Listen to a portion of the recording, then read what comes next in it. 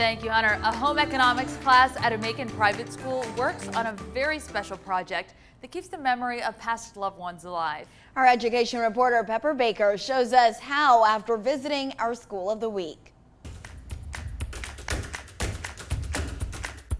Now, I'm pretty ashamed to admit this, but I do not know how to sew. But let me tell you, Windsor Academy's seventh grade students not only know how to sew, but they're putting their skills to good use, making them our school of the week.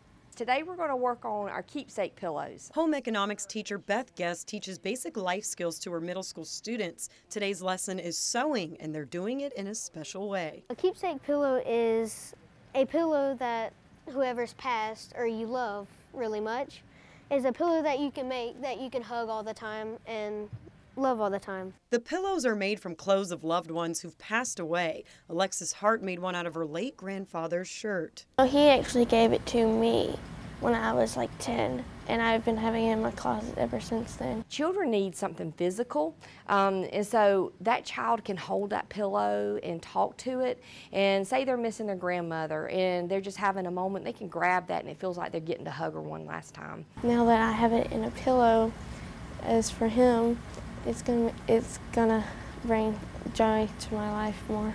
Guest made a Facebook post inviting others to bring loved ones clothes. The class delivered their first finished pillow made out of a shirt by Terry Miller's stepmother. When they are seeing their hard work turn into something that makes somebody feel better, you're developing human beings with deep, compassionate hearts. My favorite part is just giving it and watching the excitement on their face.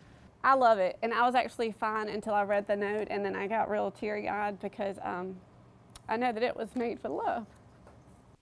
In Macon, Pepper Baker, 13 WMAZ News. Oh, that is so sweet. so sweet. Oh my gosh. A guest teaches Windsor's fifth through eighth grade students. They also learn cooking skills and money management in the class. But what she